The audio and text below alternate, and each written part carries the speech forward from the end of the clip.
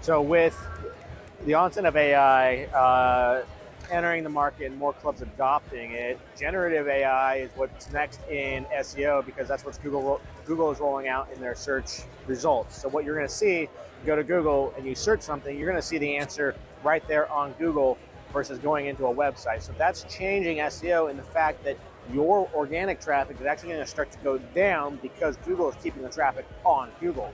What doesn't change though is that Google is pulling that information and answers from your website. So your website still needs to be optimized to actually rank and show in those results, even though they're not showing on your website, it's going to show up in that generative SEO results section.